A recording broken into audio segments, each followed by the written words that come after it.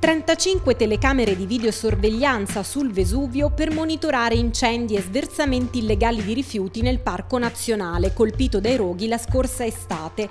Lo ha annunciato il ministro Sergio Costa che ha proposto l'applicazione del DASPO ambientale anche a chi appicca i roghi, perché, ha detto, chi non ama il suo territorio deve andare via. I 35 occhi elettronici intelligenti saranno posizionati nei 13 comuni del Vesuvio e permetteranno riprese ad alta definizione sia di giorno che di notte, grazie a un sistema a raggi infrarossi, mentre con 10 lettori di targhe sarà possibile il riconoscimento dei veicoli in ingresso e in uscita dalle aree impervie del Vesuvio. Il ministro Costa, ricordando la devastazione ambientale dello scorso anno, ha anche chiesto ai comuni di impegnarsi perché i rifiuti non entrino più nei parchi nazionali nazionali.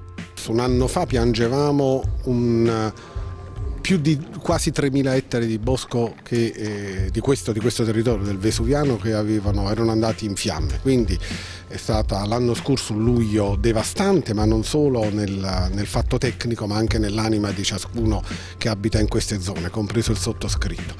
Oggi si inaugura il sistema di videosorveglianza con 35 eh, videocamere che possono però di notte e di giorno funzionano per vedere chi appicca fuoco, per vedere chi deposita in modo incontrollato i rifiuti, cioè anche dei passaggi supplementari.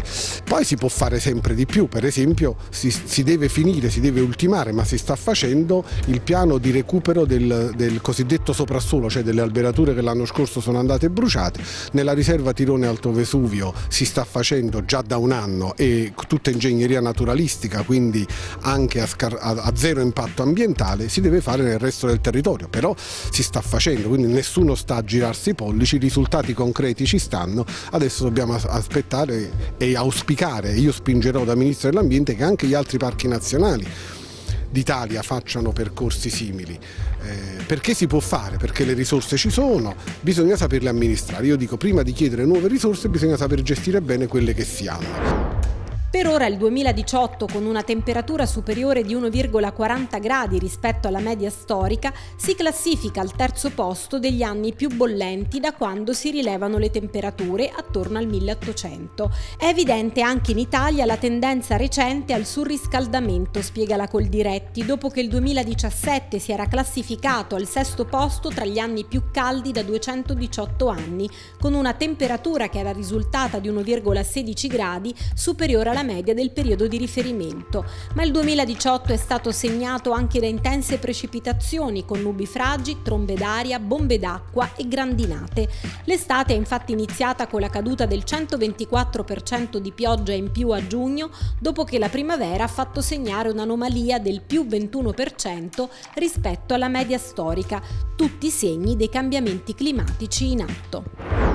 In Italia un piccolo comune ogni 10 circa è a forte rischio idrogeologico. A segnalarlo è una ricerca condotta dall'ANCI sui piccoli centri, quelli fino a 5.000 abitanti, presentata alla ventottesima conferenza nazionale ANCI Piccoli Comuni, Small City and Smart Land. In Italia sono 541 i piccoli comuni a forte rischio idrogeologico, su un totale di 5.584 centri. In questi paesi oltre il 20% della la popolazione residente a medio o forte rischio di essere coinvolta in fenomeni franosi. La maggior parte si trova in Piemonte, 109 comuni, e in Lombardia 90. Nessuno invece risulta in Puglia.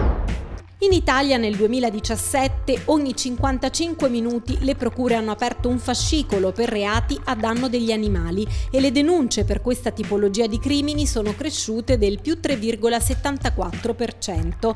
Nel 2017 si sono aperti circa 26 fascicoli al giorno, uno ogni 55 minuti, e una persona è stata indagata ogni 90 minuti con un'incidenza pari a 15,38 procedimenti e un tasso di 9,60 indagati ogni 100.000 abitanti. È quanto emerge dal rapporto Zoomafia 2018 Crimini e Animali. Sono 8.518 i fascicoli pervenuti nel campione di procure analizzato per i reati a danno degli animali.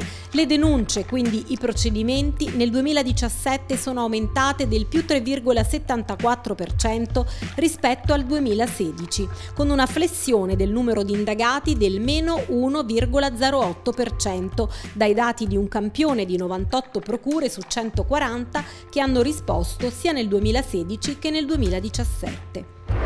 Questa mattina la Giunta, approvando questa delibera, ha voluto imprimere una svolta a un tema che sappiamo è all'ordine del giorno, purtroppo non sempre in positivo, eh, delle cronache e della vita dei cittadini, che è quello dei rifiuti, e che parte da una eh, consapevolezza della necessità di voltare pagina su un punto.